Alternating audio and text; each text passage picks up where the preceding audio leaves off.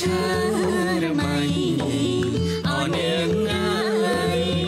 ចេញមកពីរៀនមានពីរោគមានពីរោគ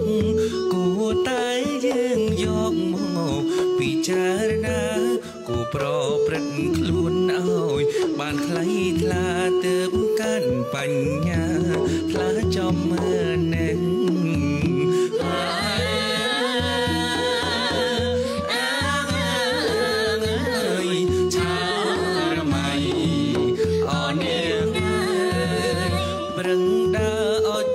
ព្រឹកប្រជាក់ព្រឹកត្រជាក់